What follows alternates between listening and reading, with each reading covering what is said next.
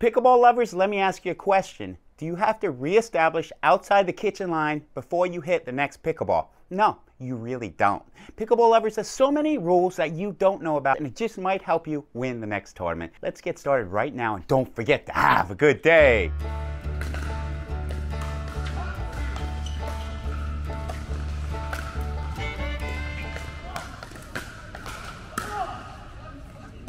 What happened this point?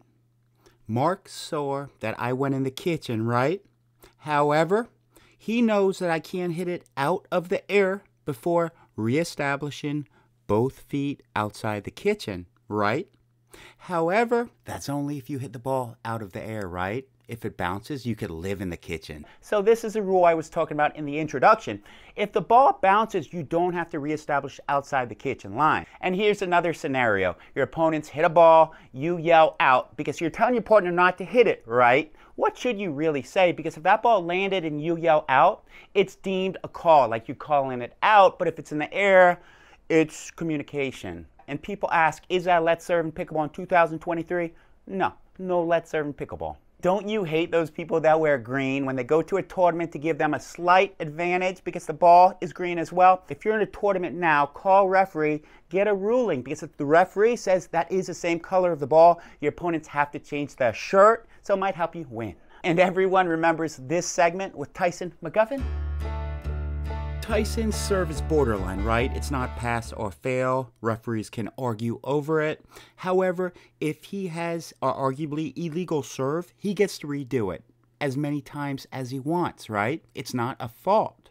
It's not a fault. Basically, I don't like this rule because he could keep doing that all the time, right? If the referee deems it above his waist or navel, whatever you want to say, he just has to redo it. I would like to see a rule change in 2024 saying it's a fault the wrong score called. In 2023, you can stop play in the middle of the point and you could win if they did have the wrong score. It'd be a fault on your opponents. However, if the opponents were right and you were wrong, you would lose the point. So I would advise finishing the point first. It's hot at tournaments. You might not be thinking right. You can't even keep score very well. Maybe I'm talking about myself. This is my producer, Mark Napotovich. He told me to clarify this for you. If the server or referee calls the wrong score, then any player may stop play at any time before the return of serve to correct the score. However, if any player stops play after the turn of serve, or if any player stops play and the score was actually correct, then the player would have committed a fault. So if the wrong score is called, correct it fast or wait until the end of the rally. I'm not feeling well. Am I good? This is a good question to ask a referee if you're not sure you're in the right place, right? Am I good? Is this the correct place to serve? Am I good? Is this the correct place to receive? It's pretty hot and I don't feel well, so am I good? Good question to ask a referee. Match point against us. I'm in the far court. Alejandra, I just completely screwed up your day. Seriously, because I didn't know the rules. Well, kind. Now he's serving to the other person. She faulted, right? Watch what happens. And this ref is just looking at me like, oh, like, I'm going to call him out on this. And she does. What happened? I was in the wrong position, right? So she made the right call, and it really hurt on match point. I ruined my partner's day. And look, I give rule segments for a living on YouTube. My whole life's pickleball. Look at me. I'm walking off like a sad loser. Look at you. I just want to roast you right now.